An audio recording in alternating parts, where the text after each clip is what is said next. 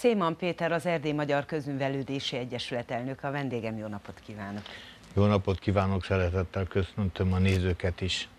Hát most egy kicsit furcsa, nem furcsa végül is a kérdés, tehát a 2018-as évet kérdezném, az MK 2018-as esztendeje, hogy milyen volt, összegezzük. Azért mondom, hogy furcsa a kérdés, mert egy 134 éves egyesület esetében most csak egy szűk évre visszakérdezni, az kevés. Nem kevés, mindig az elmúlt év a nagyon fontos, és az elkövetkező a még fontosabb, mert hát abba élünk, tehát nincs idő. Meg kell ünnepelni az évfordulókat, de nincs idő ezzel soki, sokat foglalkozni. Hát én úgy érzem, hogy nagyon jó éve zárt az MK 2018-ban. Hát van nekünk, amint tudott a rendezvényházunk, amiről most nem beszélek, a Györkösmányi Albert Emlékház. Ő, ott futnak a fő rendezvényeink, de azért a úgynevezett nagy MK is csinál rendezvényeket, aminek a székháza a Szabédi házban van, ahol a gyírói hagyatékokat őrizzük meg, könyvtárakat, és már alig férünk, még van a Szabédi emlékszoba, és ott felújítani kell, hát ott megpróbáltuk elkezdeni, nem megy könnyen. Felújítani és bővíteni kell. Ami sikerült 2018-ban szerintem az, hogy egyik legnagyobb megvalósításnak mi, MK-sek azt tartjuk, hogy sikerült kifozni a köszöntőkötetet Dávid Gyula számára, mert azért ő volt az MK újraalapításakor az első elnök, és ő dolgozott annyit az MK-ért, hogy illő módon meg kellett róla emlékezni. És ez úgy érzem, sikerült, sikerült mindenféleképpen neki örömet szerezni, ahogy láttam, sikerült olyan rendezvényen bemutatnak könyvet, hogy nem fértünk még, ahogy szokás mondani, a színházban még a csilláron is loptak, és, és ez egy nagyon fontos Momentuma, momentuma volt, volt az évnek, főleg azért is, mert egy újabb könyvet is sikerült kiadni, úgyhogy mi nem vagyunk könyvkiadók, de azért igyekszünk egy-két-három könyvet kihozni, ha lehetséges. Ami még a rendezvényeken kívül, a szokásosokon, mint Kolozsvári Magyar Napok, vagy a szabédi napok. Tehát a szokásos MK rendezvények, rendezvényeken igen. kívül sikerült bekapcsolódni, az a két futópályázat Magyarországon közösen, a EFOP pályázat, ez a Nemzeti Művelődési Intézettel közösen. Elnézést, ahol, ez újdonság? Ez 2017-ben indult, 18-19, tehát ez újdonság maga, hogy ez egy Európai Uniós pályázat, amivel részt vesz az MK, és ezt sikerült tovább folytatni, de ennek keretén belül olyan dolgokat megvalósítani, hogy erdélyi művészeket vittünk a Média V Fesztiválra, ami Erdély híres fesztivál Komáromba, és fogunk megint vinni, ugyanakkor ez olyan programok, ahol szakemberképzés folyik, tehát közművelődési szakemberképzés. És ez, hogy ezekben a pályázatokban amit részt tudunk venni, azt én nagyon fontosnak tartom. Tehát a lényeg, hogy újul változik, új területekre lép az ember. Föltétlenül muszáj, muszáj nem lehet megállni és fontos az Európai Uniós pályázat, egy másik, amit az mkis közösen csináltunk, az lezárult, az egy szintén egy Dán, magyar, román, mi voltunk ez a rész.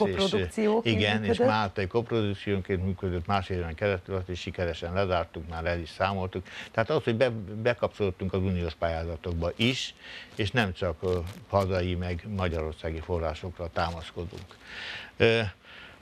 Széman úr, itt a 2019-es esztendő küszöbén én már itt látok egy, egy eléggé hosszú listát. Tehát ennyi tervük van már erre az esztendőre? Igen, igen.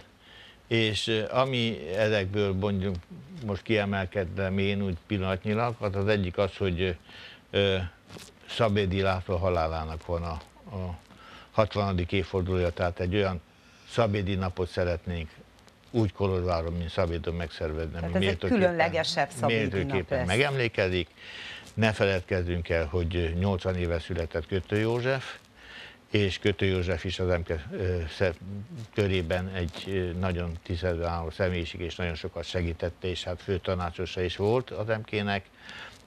Erről mi egy konferenciát, emlékkonferenciát tartunk majd a Kolozsvári Magyar Napok előtt, nem a keretében. Tehát közvetlenül a Kolozsvári Magyar igen, Napok előtt. előtt. Igen, és akkor hát részt veszünk a Magyar Napokon, Amit még külön kiemelem, hogy Kolozsváron indult 2015-ben az úgynevezett Kultivál, a Kárpát-medencei Kulturális Ifjúsági Fesztivál, ami a Kárpát-medencei Művelődési Intézetek, bennük az MK-ben működő Ködéperdély Művelődési Intézet közös programja.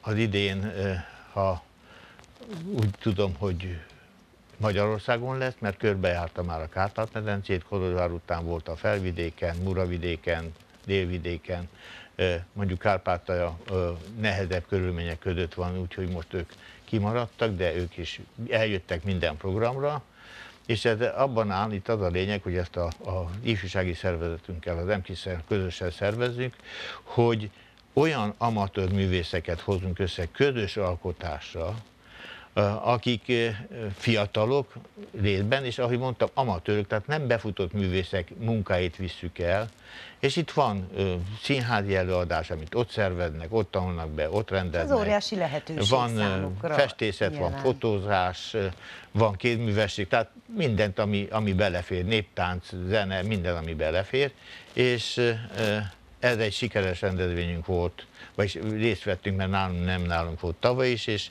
úgy érzem, hogy ez, ez is egy fontos momentuma a, ennek a évnek, ami most előttünk áll. Szilman úr, most záró gondolatként beszéljen arról, hogy a 134 éves MK-nek ma 2019, illetve 2018 volt a legfrissebb mögöttünk hagyott év, mennyire sikerül megmozgatni az embereket?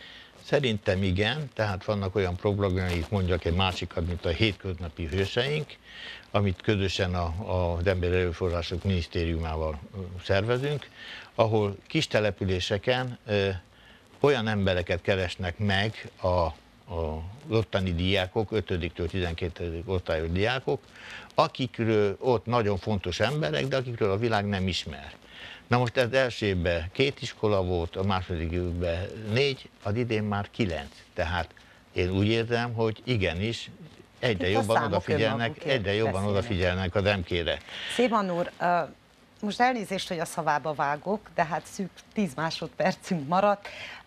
Én azt tudom mondani, hogy itt a számos rendezvény közül, tehát 2019-ben, hát csak tallóznunk kell, és ott lennünk, vágyunk és érdeklődésünk szerint. Mit emelnek innen? Hát mindegyik drága számomra, úgyhogy nem nagyon tudom kiemelni, nagyon nehéz kérdés. Hát amiket nagyrészt el, elmondtam, de hát nyilvánvaló, hogy a díjkiosztásunkon mindig, hát az mindig egy fontos esemény Erdélybe is, és Kolozsváron is, és talán a romániai magyar házak találkozója, ami szintén egy fontos dolog. Tehát nehéz ezt azt elmondani, hogy hogy mi a fontosabb. Mindegyik. Az ember mindegyik gyerekét szereti, hogyha nem is, nem is ugyanúgy. És mindenkit a tévét is, a rádiót is, de minden érdeklődőt nagy szeretettel várunk minden rendezvényünkre, az idei esztendőben is. Legyen ez a végszó. Köszönöm szépen, hogy itt volt. Én köszönöm a lehetőséget.